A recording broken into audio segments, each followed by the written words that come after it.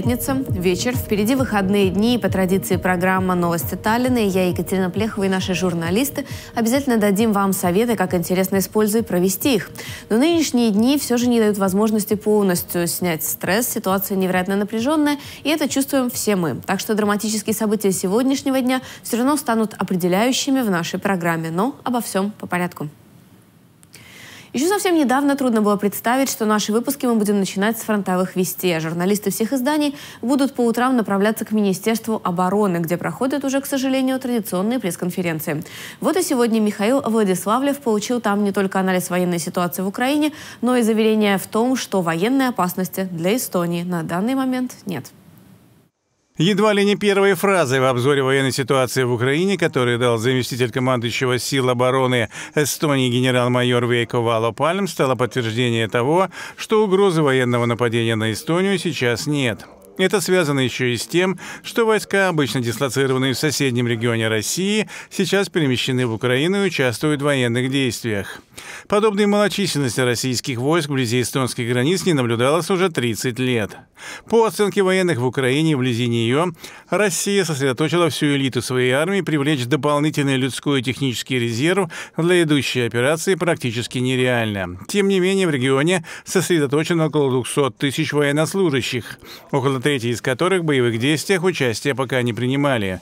Это означает, что для одной массированной наступательной операции сил достаточно, и главной целью остается Киев.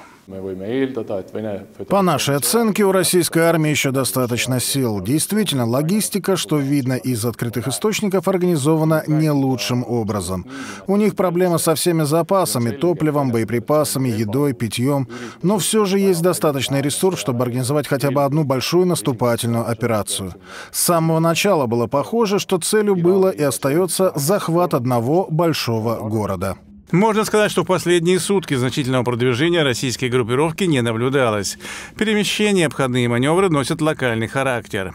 Территория украинской столицы по площади можно сравнить с островом Хиева, и очевидно, что предстоящие военные действия будут длительными, изнурительными и приведут к многочисленным жертвам среди мирного населения.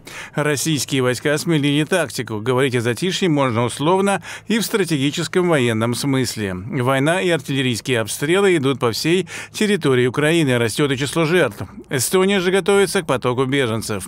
Пока границу пересекли 1900 граждан Украины, из них 500 дети.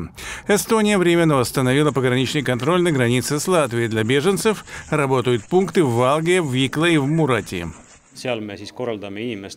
Там мы организовали встречу людей, их регистрацию, даем все необходимые инструкции. Спрашиваем о том, в какой помощи они нуждаются от эстонского государства, в чем нуждаются их дети. Важно и то, что мы выясняем, нуждаются ли они в ночлеге, или же их ждут близкие или знакомые. И третье, возможно, они выбирают Эстонию в качестве транзитной страны, чтобы далее двигаться в Финляндию или Швецию. Для пересечения границы украинцам сейчас годится любое удостоверение личности. Водительские права, ИД-карта, свидетельство о рождении и, конечно, паспорт. Полиция и пограничники внимательно относятся к любым попыткам провокации. Пока обстановка спокойная. Лишь четверо жителей стран Африки и один гражданин Узбекистана пытались нелегально проникнуть на территорию нашей страны. Эльмар Вахер призвал жителей страны сообщать о любых признаках провокационных действий, спокойной на восточной границе. Но российские пограничники тщательно проверяют всех выезжающих, и там образовались очереди. С эстонской стороны порядок пересечения границы никаких изменений не претерпел. Пока поток пересекающих эстонскую границу из России увеличился незначительно. Эстонские силы обороны продолжают оказывать помощь украинским военным, активизируют и уточняют планы взаимодействия с союзниками и сотрудничают с МВД в укреплении внутренней безопасности. Михаил Владиславов, Роман Васильев, Новости Таллина. Тем временем различные организации, частные предприятия и многие стоноземельцы оказывают посильную помощь беженцам из Украины и тем жителям этой страны, которые находятся сейчас в очень сложной ситуации на своей родной земле. Сегодня в пункт сбора гуманитарной помощи пришли представители Русского театра. Этот коллектив не мог оставаться в стороне. Актеры и работники театра собрали деньги и пакеты гуманитарной помощи и передали их в Таллинский Красный Крест. Подробности в репортаже Вадима Малышкина. С Украиной у театра давние связи. Он побывал на гастролях в Киеве и Львове, Донецке и Луганске, Чернигове и Днепре, Луцке и Харькове. Некоторые актеры освоили основы мастерства в знаменитом Киевском театральном институте имени Карпенко-Карова. У многих работников театра есть друзья и родственники в Украине. Сама директор театра родом из Херсона. Два дня назад снаряд попал в дом ее семьи, которой чудом удалось спастись. Так что боль и сочувствие наших театралов абсолютно понятны. И когда столичное общество Красного Креста Москва запустила кампанию по сбору денежных средств, гигиенических принадлежностей, подушек и одеял, разумеется, присоединился к акции помощи Украине и Русский театр Эстонии. Мы все понимаем ну, вот эту боль, э, с которой столкнулись э, украинцы, беженцы, которые сейчас у нас в стране, которые потеряли кровь, потеряли привычный уклад жизни. И, конечно, мы все понимаем эту боль. И в этом смысле все, что мы могли сделать сейчас, это вот собрать предметы первой необходимости, затем мы собираем деньги, чтобы отправить в Красный Крест и понятны благотворительные акции. Например, беженцев с детьми театр приглашает на детские спектакли, конечно же, бесплатно. Также на свои спектакли театр приглашает и волонтеров, которые помогают комплектовать и грузить пакеты с помощью. Важно, что 27 марта будет отмечаться Международный день театра, и церемония награждения лучших деятелей страны в этом году пройдет как раз в Русском театре. И в этом случайном совпадении, ведь мероприятие планировалось, конечно, заранее, теперь видится особый смысл – но то, что этот день, день театра, который, э, ну, символизирует, что ли, э, ну, лучшее, что есть в театральном искусстве, это э, общение между людьми, универсальный язык этого общения, который призывает к гуманистическим ценностям. В этом смысле вот отметить День театра в русском театре сегодня, мне кажется, очень важно, чтобы подчеркнуть единство нашей страны. На этой неделе в нашей программе было несколько сюжетов о деятельности Таллинского Красного Креста, и его вице-президент подвел некоторые итоги. Сегодня мы заканчиваем э, спор вещей для Украины. Те вещи, которые мы отправляем через Международный Красный Крест с помощью наших фирм э, в Украину, э, помощь людям, которые остались там и нуждаются в такой помощи. О начале следующей акции и тех вещах, которые могут понадобиться, будет объявлено. И еще все желающие помочь могут присоединиться к волонтерам в благотворительном магазине «Пунанеристик» на КДКТ 54. Вадим Алышкин, Мартейнло. Новости Таллина. Война всегда вызывает эмоции. Важно, чтобы мы в своем государстве понимали, что мы эстоноземельцы, у нас общие ценности, но есть и страхи. И мы должны в эти сложные времена поддерживать друг друга. Эти слова мэра Таллина вполне могли бы стать эпиграфом к нашему следующему сюжету. Ведь и у нас существуют разные точки зрения на происходящее, и будет очень опасным, если в такие разногласия втянут детей. Недаром канцлер права выразил опасения по поводу возможной травли, которая может возникнуть в учебных заведениях. Илья Бань выслушал точки зрения на то, как не допустить подобных проблем.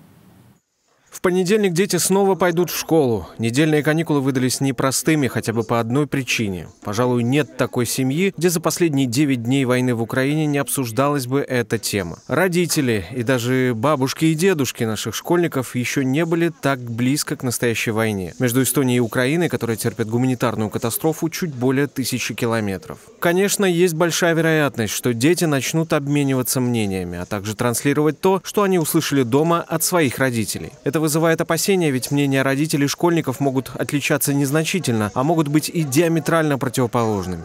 Родители тоже могли бы э, как следует об этом подумать, э, как э, своих детей подготовить к тому, что бывают разные мнения, бывают какие-то, скажем так, несогласия друг с другом, но в конце концов это совершенно не повод, чтобы начинать устраивать какие-то конфликты, начинать ругаться в школах, тем более. Все-таки главная задача – это получить образование. Дети ни в чем не виноваты. Делать их проводниками каких-то идей неправильно. Искать врагов внутри страны – путь в никуда. Велика роль педагогов, которые могут столкнуться с вопросами учеников. Абсолютно возможны споры между одноклассниками, которые, как это бывает, ни к чему не приведут, оставив лишь злость и обиды, которые вряд ли поднимут уровень знаний. Как заверил нас директор сразу двух крупных русскоязычных школ Ласнаме, школа по своей сути всегда должна оставаться нейтральной. К тому же школа никак не может поддерживать насилие в любой его форме. Учебные заведения не место для провокации. Учителям соответствующие рекомендации даны, однако все равно мы приходим к тому, что все идет из семьи. Конечно, здесь э, я обращаю внимание родителей на то, чтобы э, дома при даче оценки э, происходящим событиям родители были бы очень осторожны и деликатны, потому что дети действительно впитывают в себя всю эту информацию, и любая абсолютно э, такая негативная информация может стать причиной конфликтов. И э, еще один мой призыв Конечно, мы все имеем свое мнение в любом случае, но при всем при этом школа – это не место выяснения отношений. И даже такие посылы будем говорить, видимые в виде ленточек различных, они могут провоцировать конфликтные ситуации. Наверное, действительно лучше избегать ленточек, но опять-таки вновь мы возвращаемся к роли родителей. Известны случаи, когда дети не торопятся возвращаться из школы домой, так как мама и папа сильно спорят. По какому поводу, нам с вами несложно догадаться. Международная обстановка, к сожалению, прошлась разделительной линией и внутри некоторых семей. И это исправить, опять-таки, только в наших с вами вами силах. Илья Бань, Роман Васильев. Новости Таллина. За всеми политическими проблемами как-то забылось, что ковид никуда не ушел. А ведь только за минувшие сутки в Эстонии выявлено 3311 положительных результатов. Скончались 8 человек, зараженных коронавирусом, пятеро из которых не были вакцинированы. Специалисты не исключают нового скачка числа зараженных после того, как дети вернутся с каникул. Сергей Овченков с подробностями. В течение суток было проанализировано 6426 результатов тестов, из которых более 3000 оказались позитивными. Это означает, что коронавирус до сих пор бушует на территории нашей страны, меры профилактики еще никто не отменял. Высокий показатель зараженных влечет за собой нагрузку на больницы и на расходы больничной кассы. Статистика показывает, что в прошлом году больничной кассы Эстонии сверхдорогие лечебные случаи были оплачены на общую сумму в 9 миллионов 300 тысяч евро. За эти средства средства было вылечено 66 человек, половина из которых нуждалась в лечении от коронавирусной инфекции. Если оплачивается лечение, сверхдорогого лечения, скажем, в областной больнице, это а, более 100 тысяч евро. А в общей или центральной больнице, если это суммы, а, скажем, более 73 тысяч, то это считается сверхдорогие лечения, скажем так. К сожалению, тяжелая форма коронавируса может также означать, что больничные счета превышают шестизначное число, а люди должны оставаться в больнице на несколько месяцев. Это лишний раз доказывает, что об опасности коронавируса забывать ни в коем случае нельзя. Запланированные правительством в середине февраля смягчения ограничений так и не вступили в силу, поскольку показатель заболевших ежедневно так и не снизился до необходимого низкого уровня. Иначе говоря, борьба с эпидемией продолжается. На прошлой неделе было зарегистрировано больше 31 тысячи случаев и на этой неделе мы тоже ожидаем приблизительно 30-35 тысяч случаев э, и где-то от 3 до 5 тысяч случаев в день мы имеем уже на этой неделе. Поэтому сейчас мы имеем некоторое снижение роста заболеваемости, но по-прежнему он находится на очень высоком уровне, и риск распространения вируса остается очень высоким. Помимо этого, нагрузка на здравоохранение будет возрастать в связи с тем, что в Эстонию прибывают беженцы с территории Украины. И понятное дело, что им тоже необходимо пройти тестирование, чтобы пандемия снова не стала бы набирать обороты. И все-таки Департамент здоровья очень надеется также на школьные каникулы, которые сейчас проходят, поскольку это также помогает прервать цепочку заболеваний, создавая тем самым условия для продолжения учебного процесса именно в школах, а не на удаленке. Примечательно, что хотя во время первой волны коронавируса после школьных каникул количество заболевших возрастало, сейчас специалисты надеются, что вакцинация школьников и экспресс-тестирование сможет поспособствовать тому, что количество заболевших будет снижаться. Важно только не забывать об опасности. Сергей Овченков, Мартейнло, Новости Таллина. Если вначале было принято решение о том, что последним месяцем выплаты компенсации за электроэнергию, газ и отопление был нынешний март, но есть хорошая новость о том, что теперь через местное самоуправление можно будет также ходатайствовать о возмещении стоимости счетов и за апрель. О ходе компенсации в нашем следующем материале. Когда цены на энергоносители взлетели вверх, правительству пришлось в срочном порядке разработать меры компенсации для семей со средним доходом. В частности, была введена компенсация до марта включительно. Однако в свете последних событий цена на газ будет расти. И, понятное дело, это скажется на кошельках потребителей, когда придут очередные счета за коммунальные услуги. По предложению министра государственного управления Яка Аба, правительство продлило меру компенсации повышения цен на энергоносителей для семей со средним доходом. Это означает, что теперь через местное самоуправление можно будет также ходатайствовать о возмещении стоимости апрельских счетов за электроэнергию, газ и отопление. В общей сложности период выплаты компенсации составит 8 месяцев. Там можно получить, я припоминаю, э, и за электричество, и за газ, и за отопление – 80% от повышения цены компенсацию. Так что это надо следить и все равно подавать эти ходатайства самоуправлению. Да, цены так высоко не поднялись, когда прогнозировали в декабре, когда был самый большой скачок. Но прогнозировать э, цену газа это совсем трудно. Когда правительство приняло решение о компенсации, то оно возложило разработку системы выплат на плечи самоуправлений. И, к слову говоря, Таллин, как самый крупный город Эстонии, смог в заданные короткие сроки наладить все необходимые функции. И при этом столица продолжает предоставлять и другие пособия нуждающимся.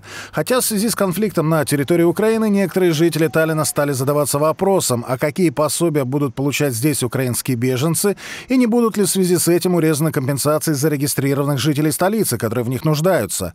В мэрии заверили, что все пособия, которые предназначены горожанам, будут сохранены в полном объеме для приезжих сюда, для беженцев, спасающихся от войны, а, а, когда будет определен их юридический статус, сейчас это пока что не сделано, когда будет определен юридический статус, и если они становятся жителями Таллина, они получают те же пособия, на которые могут рассчитывать все жители Таллина. Это не будет какой-то а, отдельной категории пособий. По словам Бетины Бешкина, если говорить о первом времени, когда беженцы приехали в Эстонию чуть ли не с ручным багажом, а то даже и без него, то в этом случае после определения их статуса у местных самоуправлений будет возможность предоставлять прожиточное пособие, которое предназначается для людей, живущих в абсолютной бедности. Оно составляет 150 евро на взрослого человека, 120 евро на каждого следующего взрослого человека в семье и 180 евро на ребенка. Это только после того, как будет определен их статус беженца юридически. Что же касается компенсации на энергоносители жителям Таллина, то напомним, что возмещение затрат на электроэнергию может получить семья, доходы которой ниже медианного уровня.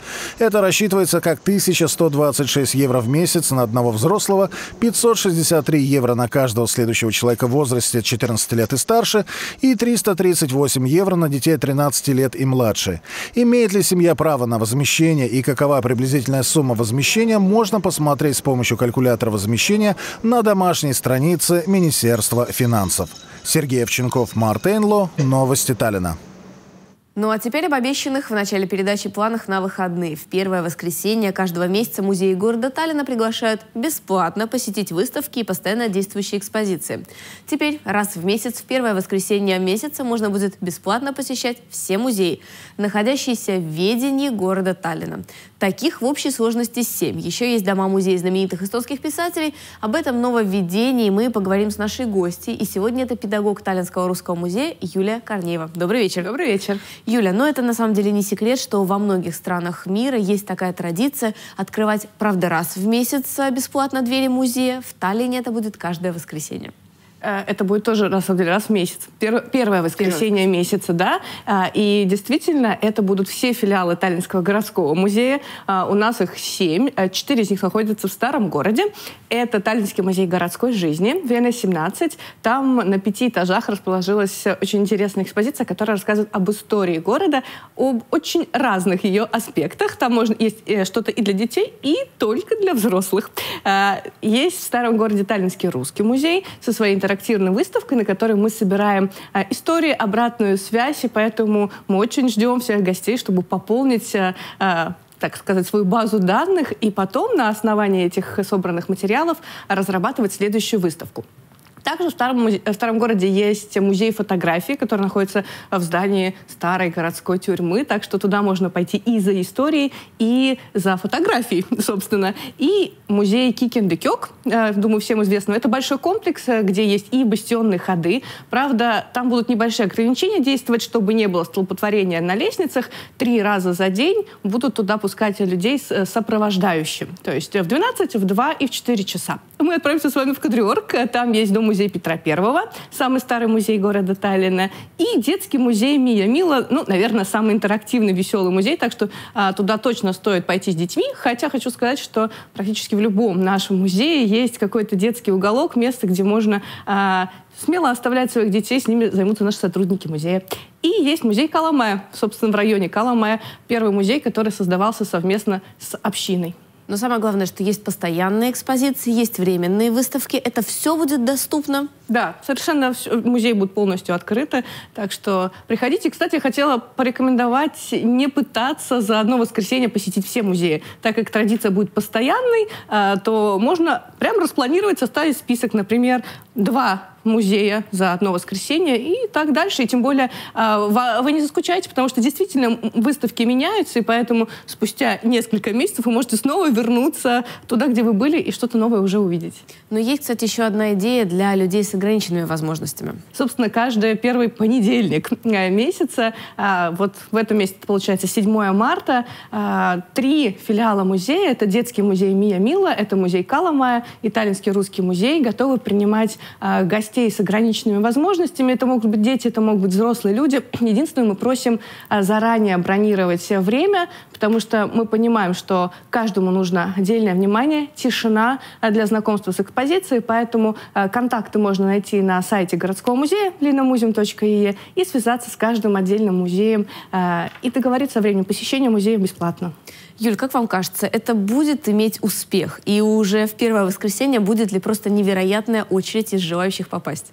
Ну, нам очень хочется в это, в это верить, чтобы культурная жизнь не останавливалась. Ну, и мы знаем, что эстонцы земельцы очень любят музеи, поэтому мы их ждем. Что такого особенного интересного, например, в русском музее можно посетить? Может быть, какой-то ваш мега-секрет, на что точно нужно гостям обратить внимание? А, ну, самая свежая выставка, я думаю, до которой не все еще успели добраться, это выставка «Родное слово», про которую мы уже говорили. И эта выставка постоянно дополняется, помимо постоян... постоянной экспозиции количестве уже собранных нами слов а, есть ячейки, куда можно написать свое родное, любимое слово, если есть желание поделиться своей историей, связанной с этим словом. И это можно будет сделать в том числе и в воскресенье, так и станете частью музея, частью истории.